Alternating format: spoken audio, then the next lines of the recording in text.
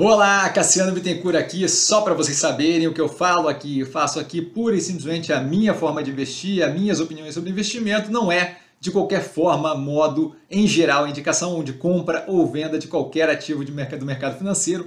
E agora o vídeo, valeu!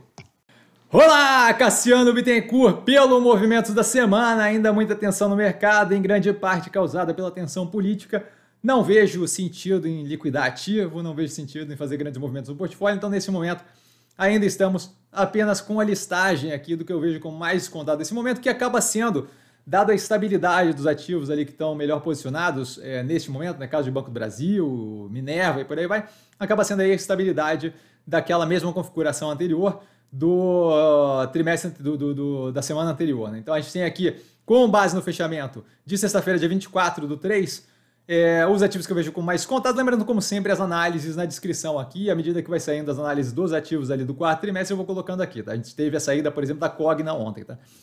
Fleury, ativo agora com a aprovação da compra da M. Pardini, muito bem posicionado para o crescimento, análise recentemente é, feita, o, a operação roda estável, Tá? Porém, entretanto, todavia tem todo um espaço aí para crescimento mais agressivo com a compra da Hermé Pardini, que foi é, liberada pelo CAD. Nesse mesmo direcionamento do CAD, a Ultrapar teve a liberação ali daquela parceria Ultra, Ultra Gás e Super Gás Braz, se não me engano, tá? É, o que, novamente, continua na abertura do horizonte, divisão de infraestrutura, redução de custo médio de operação tá? para as operações, mais do que isso, Ultrapar ali super com uma forte redução na alavancagem com a venda do oxiteno e desta forma que possibilita a operação respirar mais tranquila e com espaço para ampliação, muito mais uma questão de melhorar a operação da Ipiranga nesse momento. Iguatemi com um resultado muito positivo, a parte de shopping batendo o recorde no, na margem EBITDA, tá? 80,1% se não me engano.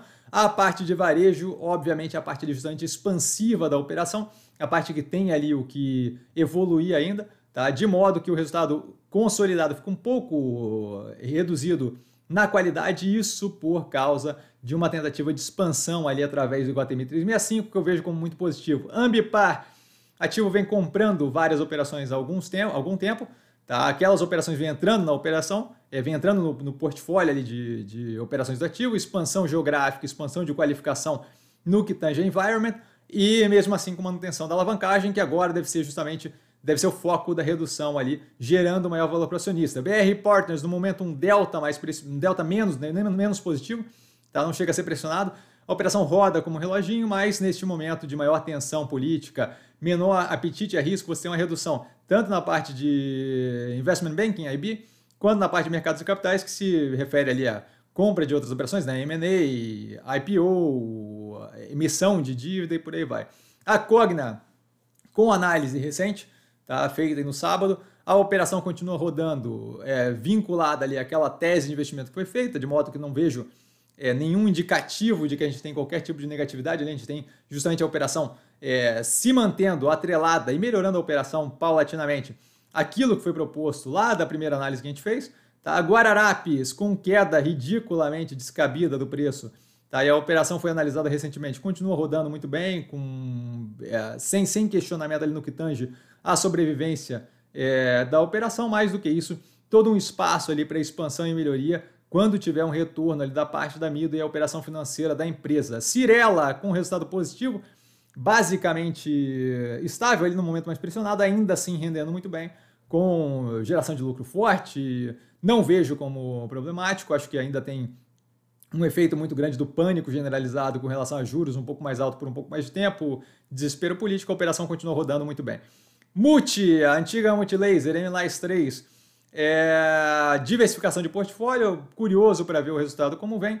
Não estou propriamente preocupado com o resultado é, pontual, dado que a operação vem de um período ali, o comparativo muito forte com o que tange o momento pandêmico, tá? e a gente tem ali uma redução tanto de demanda de grandes varejistas pela composição de estoque um pouco mais forte, quanto é, a gente tem uma redução ali na demanda por tablet PC, justamente pela compra mais forte no período pandêmico, é, expansão para Hikvision, é, HD, DJI, a DJI, a, a de drone, e a VAT, se não me engano, de motocicleta elétrica, acho que são muito positivos. Tá? Lojas Renner com resultado também bem positivo. Vale lembrar, a precificação agora é consideravelmente abaixo de quando, abaixo de quando tínhamos a pandemia com lojas todas fechadas, faz zero de racional. Algum nível de patinada ali na operação financeira, não vejo como problema. Zemp, resultado melhorando é, consistentemente trimestre a trimestre, redução contínua do custo de mercadoria vendida versus a receita líquida gerada, a operação está muito, muito alinhada, expansão do Popeyes indo bem, não vejo qualquer racional para queda no preço, assim, me mordendo aqui para entrar no ativo. Tá? Alpa 4 com uma virada na piora é, operacional que a gente teve nesse trimestre, com um pouco mais de tempo para acontecer, mas vinculada ali, é, muito amarrada, tá? e o vínculo ali com a Rothes para expansão tanto de público-alvo quanto de produto eu vejo como extremamente positiva. Neo Energia, uma operação que vem desde o IPO melhorando continuamente, o preço abaixo do preço do IPO, o que não faz qualquer sentido racionalmente falando, análise no canal. Banco Pan entrega resultados ali é, com uma operação, entrega resultados consistentes com uma operação vinculada à faixa C, D e E de renda, zero preocupado com ativo, o controle do BTG é algo bem positivo.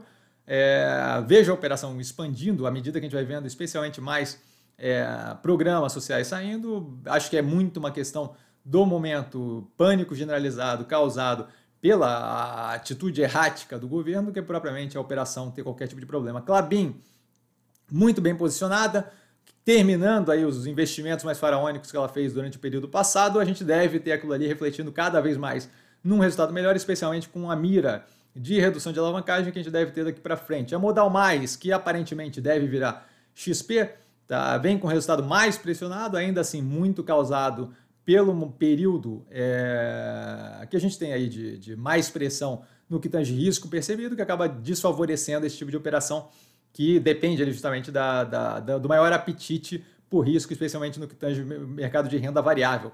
A Mobile, operação que vem melhorando a, a, o operacional financeiro, reduziu ali cash burn, aumentou a grade dela de lojas físicas, justamente ampliando o digital, com a possibilidade agora em conversas com a Tokstok e melhor posicionada, né? Sem aquela pressão, aquela corda no pescoço que a Tokstok tem, a gente ali é caixa líquido, não tem provavelmente pressa na definição de o que vai ser e de como seria os melhores termos ali para uma fusão ou uma é, composição ali com a Tokstok.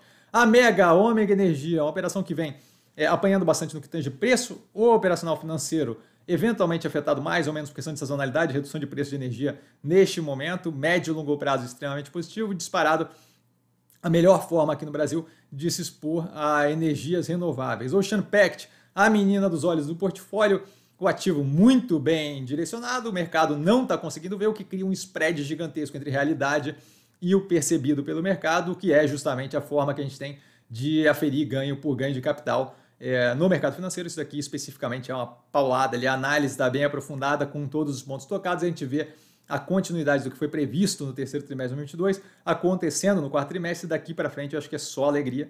Tá? Não gosto de falar desse jeito, mas, mas assim, vamos ver aí no, no, nos trimestres que vem. Tá? Log, operação de gestão ali de galpões modulares, é, a operação não consegue construir tão rápido quanto consegue locar, claramente ali o, o um destaque aí no setor, tá? algum nível de pressão na margem líquida, e aí quando eu digo pressão é que foi a 35, 40% de lucro líquido, de margem de lucro líquido, então margem líquida, então não faz provavelmente sentido, por causa do crescimento mais agressivo causado pela alavancagem no período. Tá? Neogrid, a operação vai fazendo toda uma troca de direcionamento para áreas onde ela tem melhor rendimento, eu vejo como positivo, vejo como direcionamento é, andando numa direção produtiva para a empresa, e acho que o que tem ali de redução de, de preço é muito pânico generalizado, pilhado por um grupo considerável que está vendido no ativo e, procura ele tentar empurrar para baixo sem muita fundamentação. Tá? Então é sempre o mesmo blá blá blá que a gente escuta de diretoria recebe demais, o que é da dinâmica do setor e por aí vai. Né? Balela atrás de balela.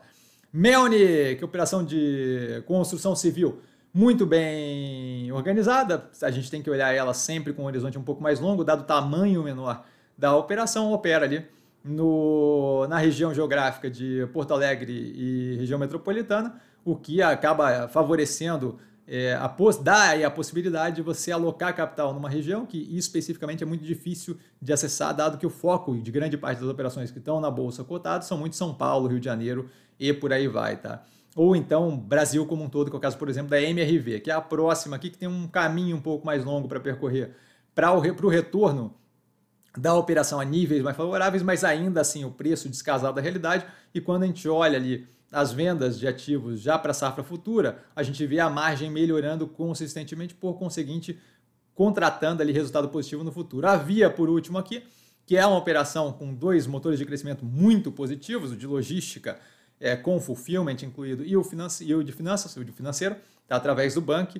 É, a operação vem rodando super bem, alguma pressão momentânea, claro, porque a gente tem um período aí de juros mais alto, menor é, poderio econômico, queda de massa salarial e por aí vai, o que não é algo propriamente que tenha afetado a operação de forma a, a retirar o brilho ali do médio e longo prazo da operação, então continua muito tranquilo, o preço diz zero da realidade, tá? Dúvida! Dúvida eu tô sempre no Instagram, arroba investir com sim. Só ir lá falar comigo, não trago a pessoa amada, mas sempre lá tirando dúvida. E vale lembrar que quem aprende a vencer a bolsa opera com mero detalhe. Um grande beijo a todo mundo e até amanhã, tá? Com abertura de mercado as... logo cedo, tá? E a live das 8 às 10, tirando dúvida de vocês, como sempre no canal, 8 às 10 da noite, tá? Um beijo enorme para todo mundo e vamos embora que tem final de domingo aí para vocês. Valeu, galera!